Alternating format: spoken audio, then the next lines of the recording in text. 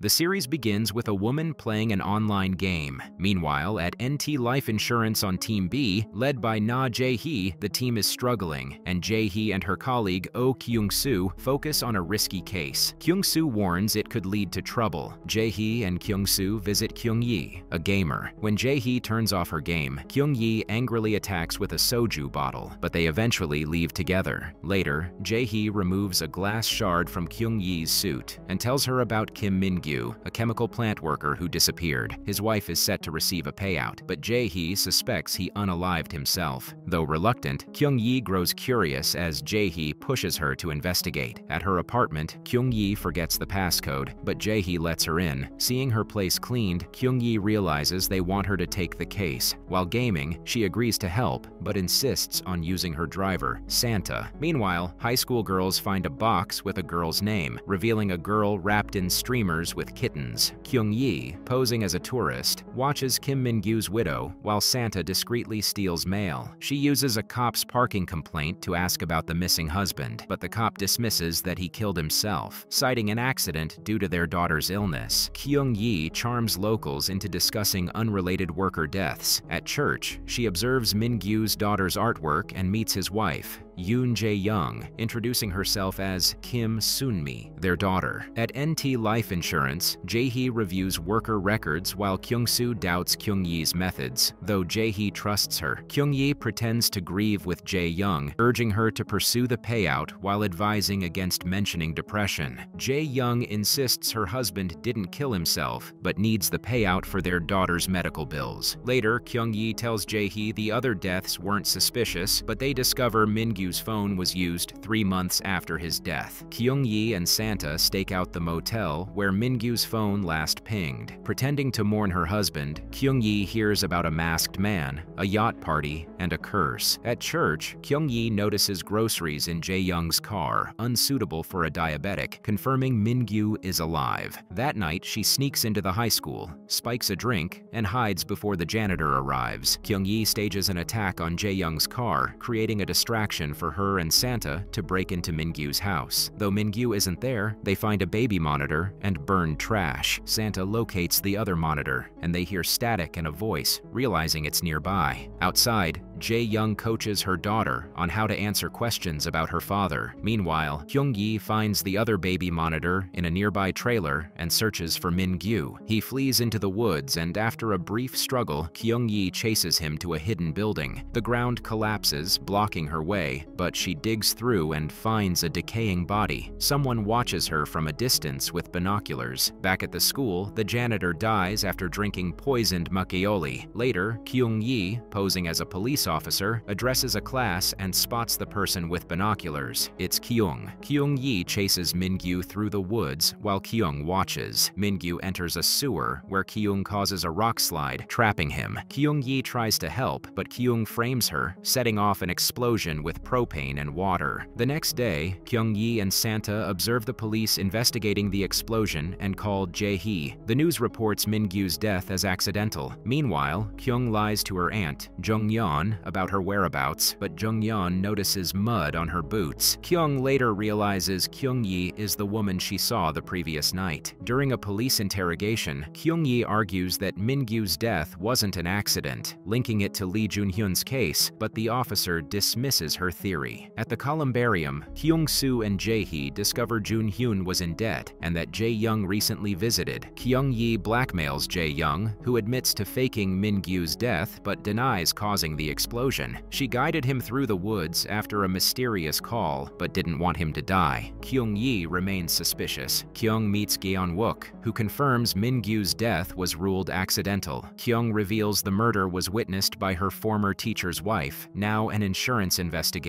Gyeon-wook suggests killing Kyung-yi, but Kyung dismisses the idea. He later deletes a message from Jun-hyun and dumps evidence in the river. At Kyung-yi's apartment, Jae-hee admits her fear of being fired after a bad review. Kyung-yi reveals Min-gyu's death was murder. In a flashback, Kyung recalls her classmate Young-ju mentioning their teacher, Sung-woo, who died after rumors about his involvement with a student. Kyung-yi, Sung-woo's wife, tried to clear his name before leaving the police. Kyung coldly remarks someone should have killed him. Meanwhile, Meanwhile, Kyung-yi tracks down her gaming friend Melon Musk, worried about their suicidal thoughts. Disguised as a delivery person, she forces her way into their apartment. After a struggle over a poisoned drink, Melon Musk asks for a reason to live. Kyung-yi admits her own doubts and guilt over her husband's death before accidentally falling into a passing dump truck, landing safely. Kyung-yi emerges from the landfill, hails a taxi, but is abducted by two men who take her to a sauna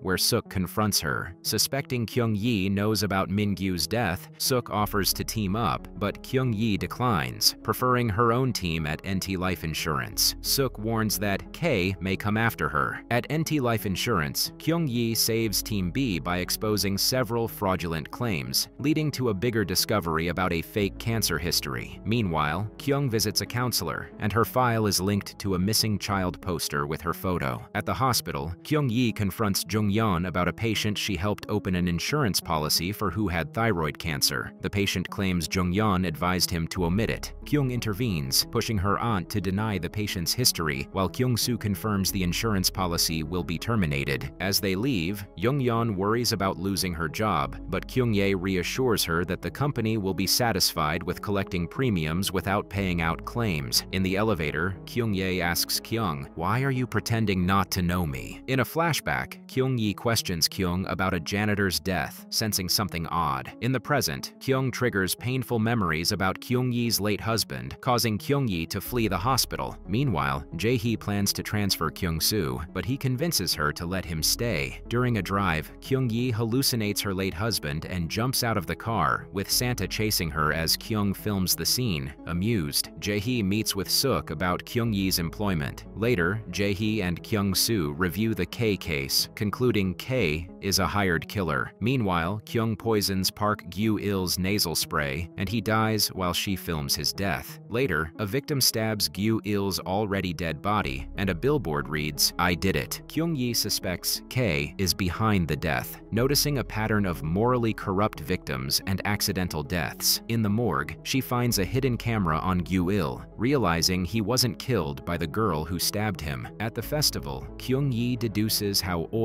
soap, balloons, and the nasal spray caused Gyu-il's death. Jae-hee spots an accomplice on footage whose keychain resembles Jae-young's. Kyung-yi sneaks into the accomplice's apartment, steals the keychain, and tails a woman with a devil keychain but loses her in the subway. The woman sends photos of Kyung-yi and Santa to Kyung. Kyung, after lying to Jung-yeon, steals her ID and confronts the girl who stabbed Gyu-il, revealing he was already dead. Santa investigates a car lot alarm, unaware that Kyung is following him. She later infiltrates KT Life Insurance, hides in a trash can when Santa arrives, then escapes. Santa follows her, but loses her. At the office, Kyung-yi and Santa review footage, unaware Kyung is listening. Team B discovers a bug, which Santa destroys. Santa reveals the person he chased was a woman. Kyung-yi films Kyung during rehearsal, suspecting her leg is injured. Jae-young informs Kyung-yi that her husband's killer requested a meeting, leading Kyung-yi to plan an observation mission. Jae-hee suggests involving Suk, but Kyung-yi refuses, sparking a tense argument about her past. Gyeon-wook ignores a call from Kyung, causing suspicion from his boyfriend. Meanwhile, Jae-hee and Kyung-soo share a moment in her car, where he subtly criticizes her closeness to Kyung-yi. Jae-hee recalls warning Kyung-yi about her husband's involvement in a student's death, but Kyung-yi insisted on confronting him. Meanwhile, Jae-hee and Kyung-soo are trapped in a sealed car, eventually waking up inside a shipping container as the tide rises. Kyung-yi and Santa race to save them. Kyung is framed for drug possession by Jeon-wook and arrested. Jae-hee identifies their location as an estuary before her phone dies. Kyung-yi rushes to rescue them on Santa's moped. Jae-hee manages to push Kyung-soo out of the container before losing consciousness. Both are rescued and sent to the hospital, where Jae-hee undergoes surgery. Kyung-yi deduces they were transported to the container using an ATV. At an ATV rental, Kyung-yi identifies Kyung's disguise from a wig, hat, hat, and glasses found in the trash. Ji-an-wook visits Kyung at the police station, scolding her for being reckless. Kyung reflects on her traumatic past, including the incident where her father shot her mother before taking his own life. Kyung-yi continues investigating, gathering information about Kyung's past in Seattle. As Kyung is released by Jung-yeon, she avoids going home and instead takes off in the opposite direction, while Gaeon-wook watches through hacked security cameras. Meanwhile, Kyung-yi learns from Kyung-soo that Kyung was present at several crime scenes, including the janitor's poisoning at the school. A flashback reveals that Gaeon-wook had allowed Kyung to kill his father. In the present, Kyung-yi and Santa sneak into Kyung's apartment, searching for clues. They find items linking her to recent crimes, but are interrupted by Jung-yeon. They manage to charm her into believing Santa is Kyung's boyfriend. After Jung-yeon leaves, Kyung-yi connects the dots that Kyung and Jung-yeon may be planning to leave Korea. Jae-hee, now awake, confirms that they need to intercept Kyung at the airport. At the airport, a large team waits for Kyung, but she doesn't show up. Kyung-yi spots a clue pointing to a water sports park near the Han River, where Kyung had rented a container. As the clock ticks down, the team learns Kyung's phone has been turned on, but she tricks them by having someone else carry her phone, while she hides with Gi-on-wook at their hideout. After the failed airport sting, Suk expresses her frustration, tightening her grip on Jae-hee, but relaxes when she sees her son's rising political success. Meanwhile, Kyung-yi tracks Kyung to her hideout. She hopes she's wrong and that Kyung will be caught at the airport, but when she peers through the window, she comes face to face with Kyung. A confrontation ensues, with Kyung overpowering Kyung-yi, who tries to trap her inside. Kyung forces her way out, and instead of fleeing, she attacks Kyung-yi, throwing punches. Kyung-yi fights back by spraying paint in Kyung's face. When Kyung grabs a machete to sever Kyung-yi's hand, Santa arrives and traps Kyung in a net, but Kyung escapes, picking the lock on the handcuffs. She flees to the river, steals a paddleboard, and evades the police by diving into the water. At the airport, Mr. Kim informs Suk that Kyung-yi tracked Kyung to the hideout, but Suk remains focused on building trust with Jae-hee. Meanwhile, at Kyung's hideout, Kyung-soo and Santa help Kyung-yi investigate. Kyung-yi discovers that Kyung's collection of script books is tied to her murders. Jae-hee arrives, frustrated that Kyung-yi didn't inform her sooner, but Kyung-yi brushes it off, accusing Jae-hee of being too busy with Suk. Their argument is interrupted when a new package arrives, containing a Joan of Arc script, which Kyung-yi connects to Kyung's next planned murder. Days later, Kyung-yi is still at the hideout, analyzing the script books. Her disheveled appearance draws Santa's concern as he tries to clean her up with dry shampoo. Jae-hee dismisses Kyung-yi's obsession with the scripts as overthinking, but Kyung-yi insists that the specially bound books hold deeper meaning. Just then, two officers from Bongbek Station arrive, requesting a handwriting sample from Kyung-yi. They've intercepted a letter accusing her of her husband's murder. Though it resembles her handwriting, Kyung-yi identifies it as a forgery. As she recounts the night of her husband's death, she grows emotional, explaining how she had lost trust in him. The police remain skeptical, but Kyung-yi reflects on the incident, wondering if his death could have been murder. Her emotional collapse brings back memories of her husband's connection to a student's death and her own suspicions. In a dreamlike state, she envisions herself watching Kyung perform a scene from Hamlet, in which Kyung eerily breaks the fourth wall, hinting at her murders. When Kyung-yi wakes up, she rushes back to the hideout, convinced that Kyung's murders are connected to the plays in her scripts. She realizes the Joan of Arc script foreshadows Kyung's next target. Meanwhile, a man receives a mysterious package outside his door, containing a plane ticket to Manila and one of Kyung's dolls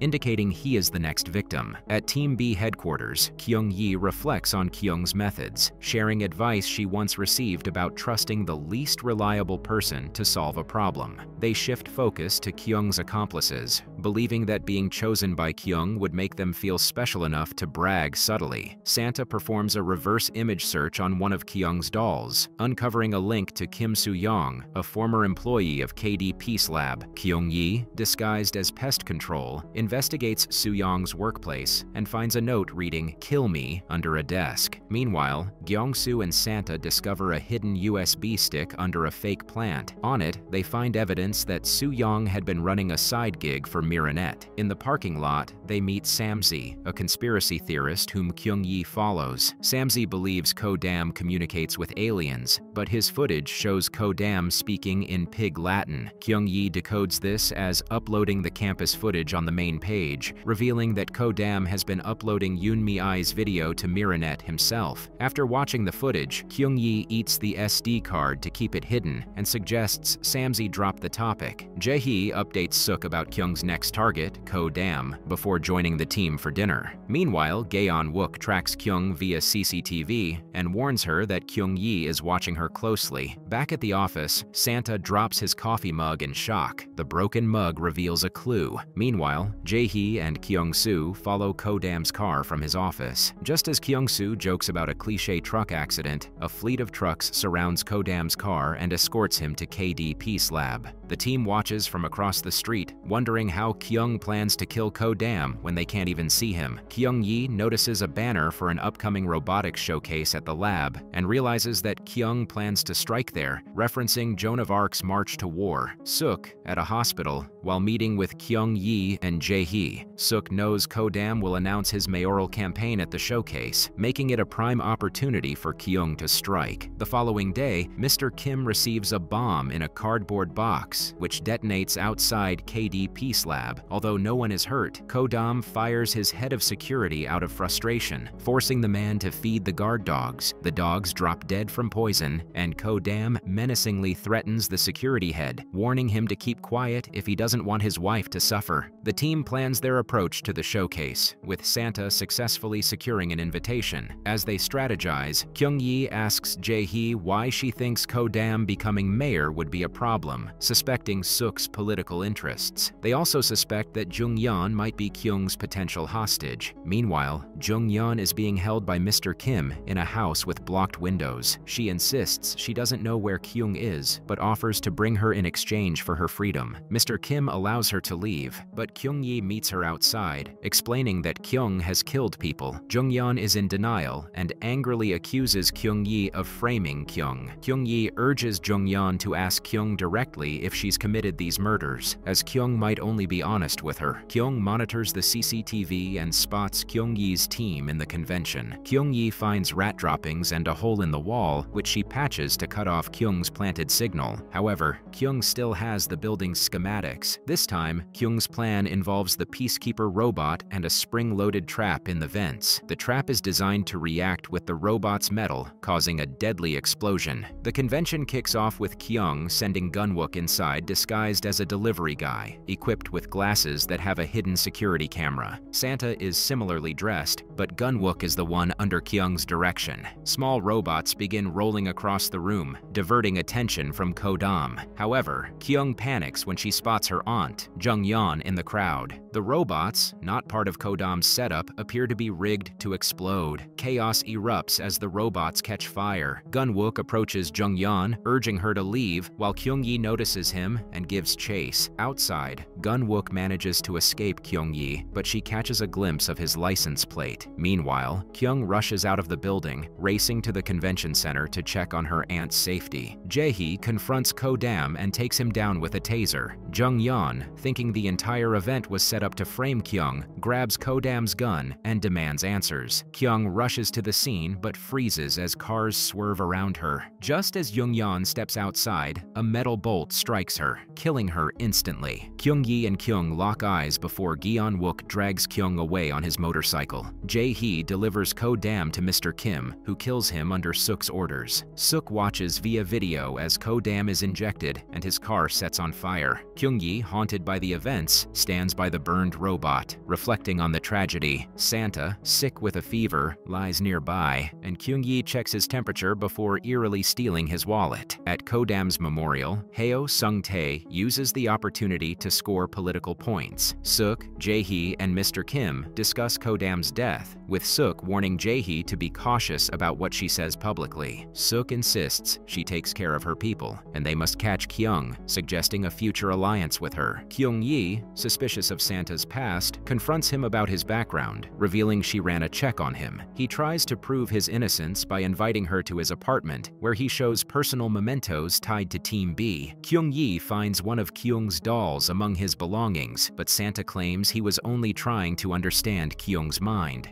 Still uneasy, Kyung-yi decides it's time they part ways, unable to shake her doubts. At Team B's office, Jae-hee informs Kyung-soo that the team has been disbanded and he's been transferred to Team A. As Sook's people confiscate their investigation files, Kyung-soo sneaks one folder away. Kyung, meanwhile, follows a drunken mother outside a restaurant after an altercation and pushes her off a rooftop in a fit of anger. Stunned by her actions, Kyung seems detached and unbothered by the death. Kyung-soo visits Kyung-yi at her apartment, where he learns she's quit drinking. After asking Santa to leave, Kyung-soo reveals that Kyung's accomplice had a distinctive tattoo on his arm. With this, along with the direction of the motorcycle, they start piecing together the identity of the culprit. Kyung-yi also has a cartoon sketch of the accomplice's face to aid in the investigation. Suk throws a surprise by appointing Jae-hee as her new campaign advisor, making Jae-hee uncomfortable with her deeper involvement. Kyung eventually calls Kyung-yi, blaming her for Jung-yeon's death. Although Kyung-yi and her team didn't directly kill her, they intended to use her as leverage, which is enough to provoke Kyung's thirst for revenge. During the call, Kyung gives Kyung-yi an address, directing her to meet at the Highlight Hotel at 7 p.m. Realizing her apartment is no longer safe, Kyung-yi heads out for dinner, but Kyung continues to track her. Kyung-soo, lurking nearby, is spotted by Kyung, who stabs him with a fork as a warning for the confrontation to come. After Kyung slips away, the team reconvenes and discusses the attack. They come to the realization that Sook is the mastermind behind Kodam's murder. Despite Kodam being a terrible person, the fact remains that murder is murder, which makes Ji-hee question what's truly happening. She later watches a recording of a political meeting, revealing crucial information. Later, a knock at Jae-hee's door reveals a young boy, but it turns out to be a trap. Kyung ambushes her and holds her captive. At the same time, Kyung appears at a hiking trail, where Kyung-yi confronts her and begins questioning Suk's true motives. The tension between them intensifies as they lock eyes. Kyung taunts Kyung-yi with Jae-hee's scarf. Enraged, Kyung-yi throws Kyung onto a table, demanding to know if she killed Jae-hee. Kyung denies it, but knows Kyung-yi won't believe her without proof. Mr. Kim arrives with backup, but Suk tells him to stand down, siding with Kyung. Furious, Kyung-yi vows to kill Kyung if Jae-hee is dead and storms off. Sook has her men follow Kyung-yi, solidifying her alliance with Kyung, who watches, slightly uneasy. Kyung-yi is forced into Mr. Kim's car trunk. He tells her Jae-hee is dead, though she remains doubtful. Santa panics when he realizes Kyung-yi is missing. Mr. Kim rolls a barrel, presumably with Kyung-yi inside, down a hill. Santa and Kyung-soo use a tracking app to locate Kyung-yi, despite receiving a suspicious message from her phone. Kyung-yi wakes up bloodied in a large chamber, saved by a metal frame. She calls for help, but hears nothing. As she approaches a ladder, Jae-hee's voice in her mind questions why she's fighting to survive. Kyung-yi responds that she needs to know if Jae-hee is alive. She attempts to climb, but falls to the bottom. Meanwhile, Kyung, lounging by a pool in Thailand, gets a ticket back to Seoul. She's dropped off at the same house where Jung-yeon was held. Realizing it's now her turn to be confined, Kyung explores the house and finds it surrounded by electric fences and high walls. She attempts to escape but gets shocked, laughing at her failure. Meanwhile, Kyung-yi wakes up trapped in a net surrounded by trash. She cries for help, but fireworks drown out her voice. Reflecting on Jae-hee's words, she clutches a teddy bear, filled with regret, and apologizes. Santa continues searching for Kyung-yi and discovers her jacket stuck in compressed plastics. Later, Suk visits Kyung, who asks about Kyung-yi's fate. Suk dismisses the question and assigns Kyung a new target, someone involved in human trafficking. Kyung quickly completes the task, leaving the body in an elevator. Kyung-yi regains consciousness and, inspired by memories of Jae-hee, uses the net to fashion a rope and escape. At the top, she's rescued by Jae-hee, Santa, and Kyung-soo, leading to an emotional reunion as Kyung-yi confirms Jae-hee is real. At Jae-hee's home, the group decides to let Suk and Kyung believe Kyung-yi is dead for now. Back in the present, Kyung-soo notes Kyung's assistant has a tattoo similar to Lee Jun-hyun's, linking them to the same juvenile center, raising suspicions about Gun-wook. Kyung-yi and Santa break into Gun-wook's apartment, throwing a net over him when they find him delirious. During Gun-wook's interrogation, Kyung-yi and Santa threaten him but learn little, aside from his denial of any knowledge of Lee Jun-hyun's death footage. They warn him to be careful and let him go. When Gun-wook returns home, he finds a suspicious package and Kyung-soo waiting. Inside the package is a man's body, wrapped in ribbons, Kyung's twisted message. Meanwhile, Hyun-tae escapes the temple where Suk has hidden him, enraging both Suk and Kyung. He runs into Jae-hee and Kyung-yi, who capture him and deliver him, tied up in Jae-hee's car trunk, to Suk. Suk thanks them and, while considering her next move, Kyung-yi arrives to question her plan. At that moment, Mr. Kim, newly freed, read barges in, pretending to still be in control. Suk dismissively thanks Kyung-yi and sends Mr. Kim off with Hyun Tae. Meanwhile, Jae-hee's father teaches Nana how to fish, explaining how to either bait or scare fish out. As they watch TV together, Nana recognizes Sung Tae when the news breaks about Jun Hyun's leaked death video. Chaos ensues, but Suk quickly covers it up, paying an expert to declare the video fake. Hyun Tae wakes to eerie laughter and flickering lights. He grabs a bat in fear, finding a hair in his water. When he calls for help, Kyung's voice comes through the phone, threatening to kill him. The phone heats up and he drops it, terrified, hiding under his blankets. Meanwhile, Sook is stood up for dinner by an assemblyman, realizing she needs help. She meets with Kyung-yi, uncertain what to offer, but pleads for Hyun-tae's life. Kyung-yi proposes a plan that requires Sook's complete trust. Desperate, Sook kneels and agrees. Elsewhere, Kyung, disguised as a cleaner, meets Gion Wook, who reveals Kyung-yi leaked Hyun-tae's video, making him harder to kill. They move to a hotel, where Gaeon Wook speculates the video might reveal more than Jun Hyun's death, but Kyung has her own plan. The team, including Samsi and Melon Musk, gathers over pizza. Kyung-soo observes that Kyung-yi has achieved her goals. Back at the office, Kyung-soo finds a disc labeled K, leading him to a bathroom where Kyung appears, offering to handle the killings in exchange for files. He reluctantly agrees. Meanwhile, Mie delivers drinks laced with hidden blackmail materials. Kyung-yi confronts Kyung for a conversation. At a press conference, Suk tearfully apologizes for Hyun-tae, claiming he's abroad. Someone throws acid at her, and Jae-hee and Mr. Kim rush to her aid. At the hospital, Kyung-yi snaps pictures of the bandaged Suk. Hyun-tae prepares for a speech, but receives a voice message from Sung-tae asking Kyung to kill him. Furious, he kicks out his stylist, processing the betrayal. He negotiates with Kyung for his safety, promising payment, but both Kyung and Gun-wook mock his desperation. The team debates Kyung's true intentions, noting her tendency to torment her victims before killing them. Santa adds, to kill or not to kill, while holding knives. Kyung-yi concludes Kyung will torture Hyun-tae when he shows up. Before a press conference, Hyun-tae confronts Suk with a recording of her plotting his death. He expresses relief the video was leaked, tired of hiding. After the conference, he plans to flee the country, but when Suk's car gets a flat, Kyung appears, pointing a gun at Mr. Kim. During the press conference, a former lover of Hyun-tae disrupts the event, accusing him of mistreatment. Meanwhile, Kyung kidnaps Suk, placing her on a stage and giving her a twisted choice. Save Hyun-tae or let 20 people, including Die in a bomb-filled building. Unaware that Sung-tae is among them, Suk chooses to sacrifice Hyun-tae. Kyung reveals Hyun-tae wanted both Suk and Sung-tae dead. As Suk lunges for the self-destruct button, Kyung pulls it away, accusing her of fake selflessness. Sensing something off, Kyung removes the bandages, revealing not Suk, but Kyung-yi, who smiles, having successfully outwitted her. The scene flashes back to when Team B gave Kyung the boat party video. On the train, Kyung-yi strategizes to outsmart both Kyung and Suk. The past blurs with the present as Kyung angrily realizes Kyung-yi has been plotting against her since learning of Hyun-tae's corruption.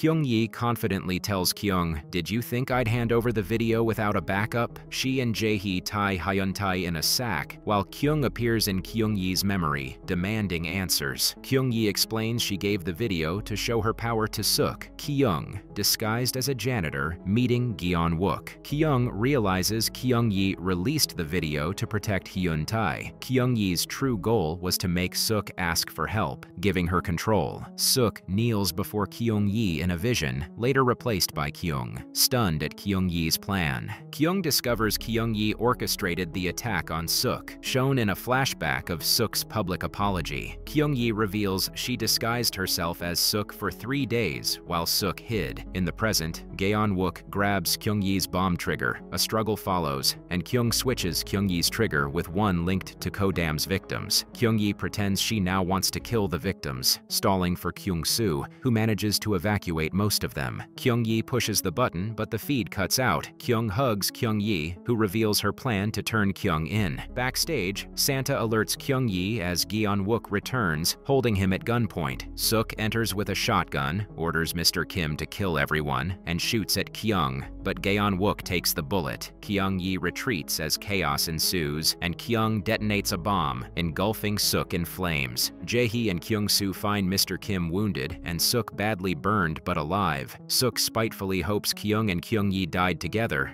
then storms off as the press arrives. Inside, Kyung Soo finds Gaeon Wook, who whispers crucial information about Kyung's next move. Kyung forces Santa along train tracks, contemplating killing him. As she shoves him into a container, she asks if she should end it. Before Santa can answer, Kyung Yi appears, tracking them with Kyung Soo's help. As the train moves, Kyung debates who to shoot with her last bullet. Kyung Yi challenges Kyung's reasons for killing. Kyung shifts focus to Santa, accusing him of causing Sung Woo's death. Kyung Yi demands the truth, but Santa's silence causes Kyung to snap. She gives Kyung Yi an ultimatum, act or she'll kill Santa. A struggle ensues, and Kyung knocks Santa out. Just as she prepares to shoot him, Kyung Yi opens the container door and drags Kyung off the moving train. They wake up in foggy woods. Kyung sees a black cat before trying to stand. Kyung Yi, still dreaming of video games, grabs Kyung's ankle as police sirens approach. Kyung is arrested, watching Kyung Yi and her team from the car, envious of their bond. Later, Melon Musk sneaks food into Kyung Yi's hospital room. Kyung Yi cracks open a beer, but Kyung Soo catches her, teasing that she's done thinking for now. Jae-hee teases Kyung Yi by drinking the beer herself before submitting the Kodam murder video to the prosecutor. She hints at more evidence for a deal. Mr. Kim, still handcuffed, overhears prosecutors discussing restaurants, missing his freedom. Suk faces charges for 17 crimes while Hyun Tae is arrested. Sung Tae drops out of the mayoral race, and Gaeon Wook is hospitalized under Daeho's watch. At the aquarium, Jae-hee distracts Nana from a hunting shark with a comforting story. At Kyung Yi's, she's gaming while Kyung Soo sets up a sign for their detective agency. She's surprised, and later finds a business card naming Santa as team leader. In prison, Kyung dismisses her lawyer, finding peace until a nearby prisoner screams about someone deserving to die, agitating her. Jae-hee brings Kyung Yi a plant instead of beer. When the doorbell rings, they are stunned by Kyung Yi's mysterious doppelganger. Kyung Yi leans in and whispers, something's fishy.